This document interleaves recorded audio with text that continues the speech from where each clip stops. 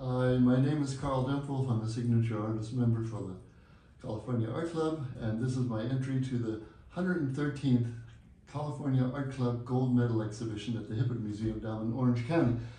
Uh, this is my painting. It's a, uh, a scene from Point Lobos, uh, and some of you already know I do Point Lobos a lot, but I like the ruggedness and stuff, and it's always changing too because the weather is tough and the wind blows and things break and stuff. So every time I go, it's different.